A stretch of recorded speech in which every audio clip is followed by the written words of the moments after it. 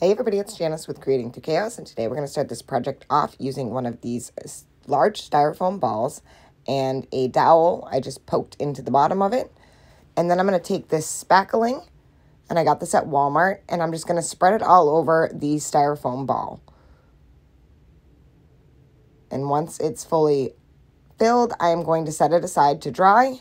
Once it's dried for about 30 to 40 minutes and it's not fully dry, I'm going to take it back inside I'm going to run my fingers in some water and use a spray bottle, and I'm going to smooth out all of the spackling. I'm just using my fingers to do this, no special tools, just making sure that it makes it so that it's smooth. Once you have the ball all smooth, I am going to use the cutter color buttermilk and paint the styrofoam ball. And I'm going to paint right over the spackling. And I gave it two coats. Once I have that all painted, I'm going to set that aside. And I cut down the dowel that I was using. And I'm going to paint that dowel buttermilk also.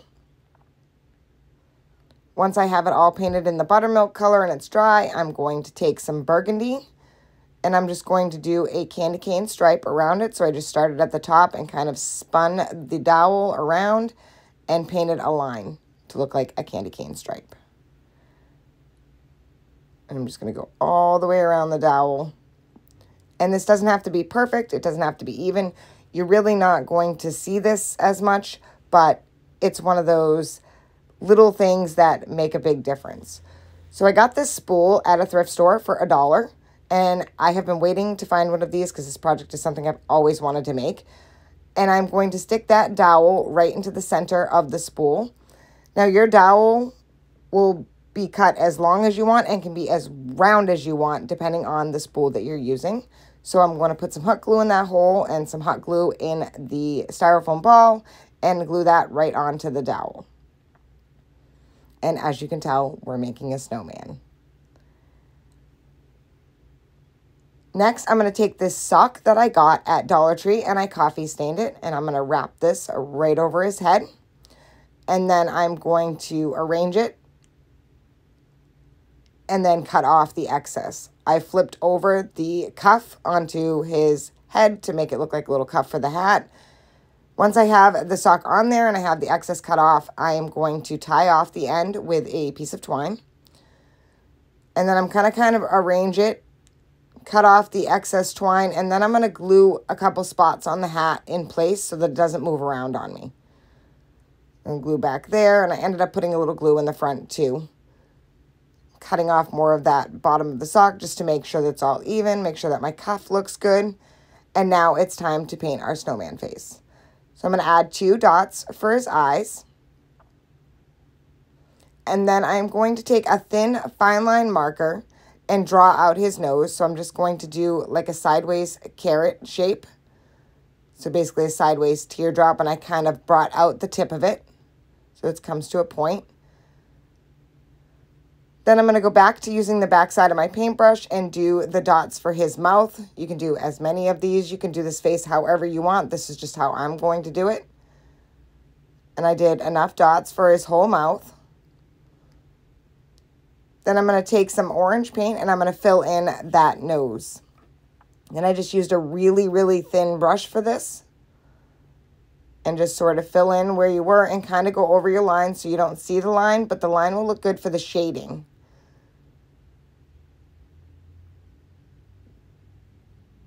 And I think I did two coats of orange on the nose. And I let that all dry. Then I'm going to come back and take some of that buttermilk paint. Again, a very thin brush. And I'm going to put some slices in the carrot. So just a couple of lines on the carrot to make it look like the slices. Then I'm going to take some white and add it to each one of the mouth dots and to the eyes, which I didn't do on camera. Next, I'm going to take a little bit of the color Burnt Umber and I kind of dry brushed it on to the bottom of his nose to add a little definition and a little bit of shading. So just a quick once over on the nose with some of that burnt umber color right at the bottom of it. And then I took some pink paint and I dabbed it onto a paintbrush and then I mostly wiped off all of it. And now I am going to do some rosy cheeks for him. I'm just going to go around on each side, just kind of dabbing in. And this is like a very, very dry brush, not overdoing it with the pink. Making sure that my paint underneath was dry before I added the pink cheeks. I didn't want to get that black on there. And how stinking cute is that? Next, I'm going to take a liner brush again. This is just a really thin brush and some white paint. And I'm going to paint a snowflake right here on his cheek. So I just did basically a star using the lines and then once I had all those lines done, I am going to add a dot with a stylus to each end of the lines and then another dot using the opposite side of the stylus to do one in the center. And I did one on his cheek over here.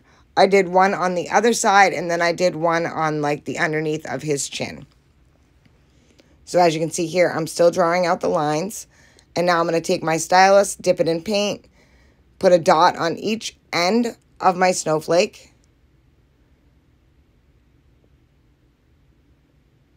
And then I'll add another one to the center once I have all these dots on.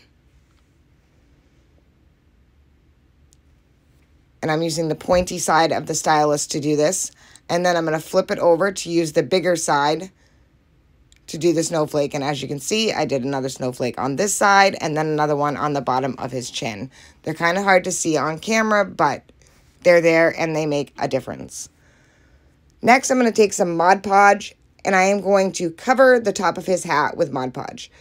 And this is going to dry clear so you won't even notice it. But I did a really good amount of Mod Podge onto his hat, just kind of in random spots all over.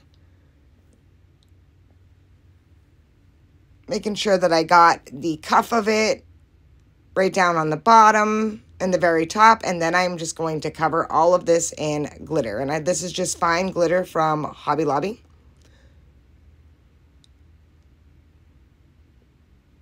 Then I took another thin brush and I'm going to go right across the top of the carrot nose. And then I'm going to add some glitter. I also added some glitter to each one of the snowflakes on his face also. Next, I'm going to take some torn red and white ticking fabric that I had previously coffee dyed, and I'm going to wrap that around the spool. And then I'm just going to glue it into place and cut off the excess. And then I'm just going to glue it a little bit just to hold it. And how cute is this? Next, I'm going to take the rest of that ticking fabric and I'm going to wrap it around his neck as his little scarf. So I'm just going to wrap it around and then tie it into a knot.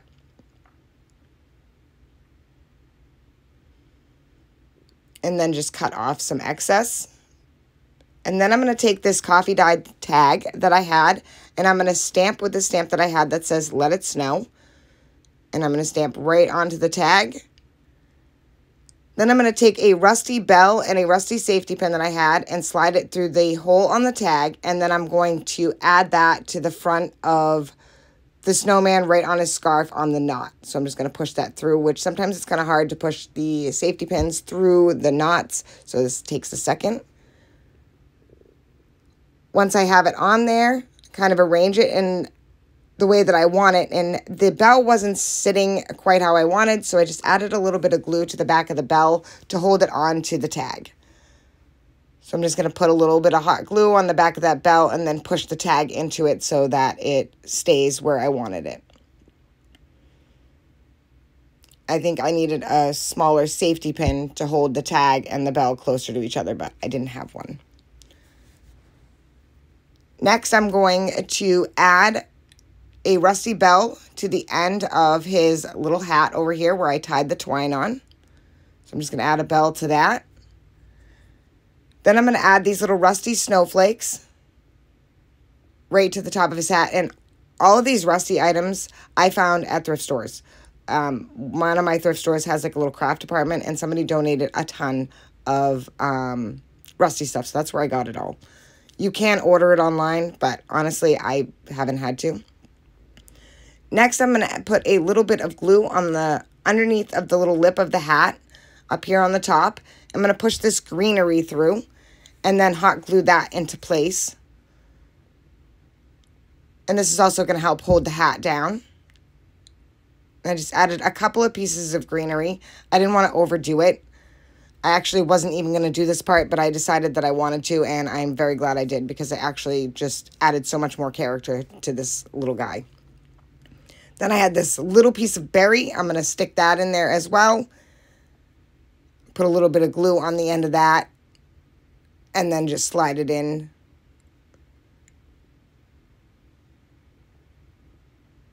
And how stinking cute is he turning out already?